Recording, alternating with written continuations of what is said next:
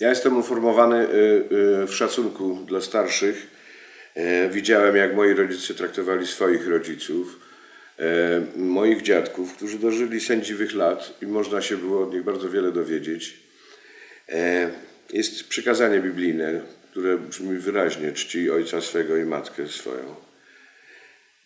Wydaje mi się, że to jest niezwykle istotny element naszej cywilizacji.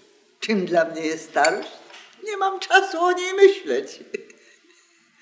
Jestem wciąż zajęta. Myślę, że jest dla mnie przychylna. Jak zacząłbym opowiadać, czym jest dla mnie starość, to ci, którzy są w złotej jesieni życia, pewnie by się uśmiali nieźle z tego, co ja mówię.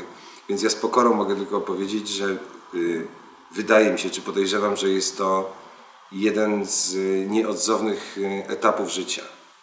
Bez względu na rodzaj słabości, przypadłości, która się przydarzyła w ciągu życia, to dla mnie starość jest y, takim samym ważnym etapem jak dzieciństwo, młodość, okres takiego pełnego rozkwitu.